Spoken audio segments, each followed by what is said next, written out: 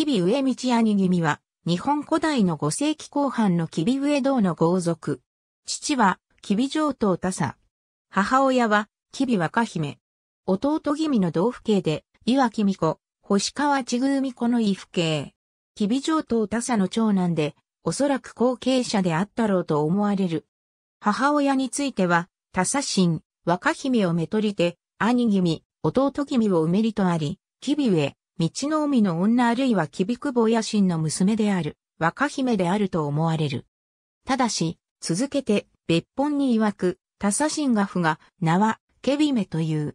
桂木卒彦の子、玉田すくねの娘なりともあり、どちらが本当の母親なのか疑わしくなる。他佐にケビメと若姫の二人の妻がいたということなのかもしれない。ここでは若姫説に従う。父親、他佐が妻である若姫の美貌を褒めたたいたため、有力天皇に横連母され、他佐が未マナ国士である間に天皇が若姫を高級に入れてしまった。結果、母親と性別する。西暦に換算すると、463年に天皇の命で弟の音彦が、吉備海部正し赤尾と共に朝鮮半島へ行った。白木征伐と百済からの手人入手が目的である。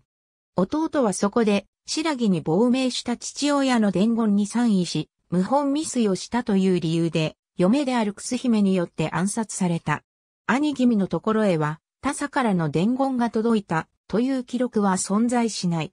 その後、父親である他佐は行方知れずになってしまった。この間に、母親の若姫は、有略天皇との間に、岩木美子と星川千宮美子の二人の美子を設ける。西暦478年、白髪美子が皇太子になる。西暦479年、有略天皇崩御。時を経ずして、若姫と共に星川美子を担いだクーデターに協力し、大倉の官らによって大倉を取り囲まれて放火され、若姫、星川美子ともども焼け死んでしまったと伝えられている。この月に一族の吉備上道の臣たちは水軍40層で来園しようとしていた。ところが、乱が鎮圧されたので引き返してしまった。皇太子であった青寧天皇は、吉備の治めていた山部を没収した。この時の上等神は、田坂、兄君に相当し、あるいは兄君、弟君の子孫か兄弟であったことと思われる。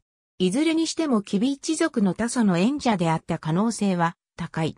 以上が日本初期末期、第14巻、第15に収められている物語である。